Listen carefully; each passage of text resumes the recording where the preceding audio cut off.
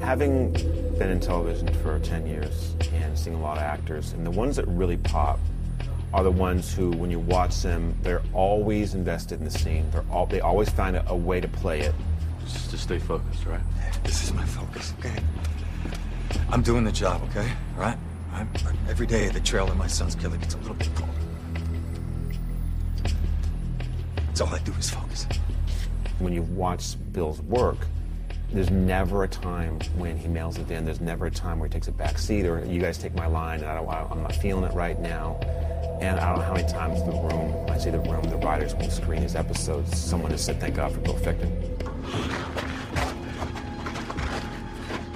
Why the hell did you tell Self that we could get a card holder by today? He's at the turnstile. Alex. I didn't have a choice. Well, no, none of us have a choice. And I am not going back to prison. It's investment. I mean, how, how, how deep do you want to get there? You know, what does it really mean to you? you what is that really like?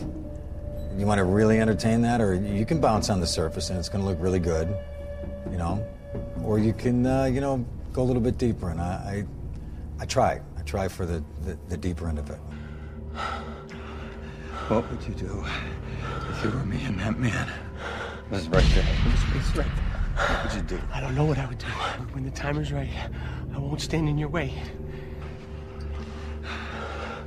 When the time is right, I won't let her. Okay. And besides that, on a personal note about Bill, a professional is professional. And you don't have to be a psychotic to be talented. You don't have to be a hothead to be talented. The most sensitive nerve endings are right here. That's why acupuncturists avoid placing needles anywhere near them, because opening up the nerve endings in a fingertip, even a little pinprick, can result in quite a painful hot flash. This guy's a, like a regular guy. When your heart rate dips below 50, that battery will give you a wake-up call. And then you will feel every ounce of the pain. That's when you're gonna beg me to make that phone call. You know, he comes to my office all the time, and we'll talk about, he'll have ideas, and there's a great communication. A pleasure to work with as a person, and a real asset to the show in terms of a talent. I think one of the highlights of the three years that I've spent on Prison Break are the, are the conversations that I have with the writers, and, and in particular Matt Olmstead. I've never been one to come from a place of, oh, I don't know what those guys are doing or anything. If I don't understand something, I can't wait to call up Matt to talk about it. This the guy? If I read something and I think, geez, you know what, uh, it doesn't really feel like the guy, I think at this point, you know, the actor knows the character. I love talking to Matt about it. The icing on the cake when you get to talk to Matt about, like, you know, tell me what's going on in this moment. Tell me about what you're thinking about for the future.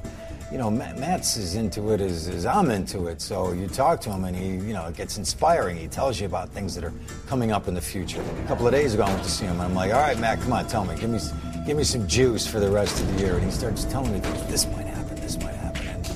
I love hearing that because it's the communication there. Because I think we have great writers on this show, and, and I love the relationship that I have with them. It's never a drag. It's never an imposition. It never feels like you know they're on one side of the camp and you're on another. Because I think that I've I've been in situations where that is the case, and that's not the case for Prison Break.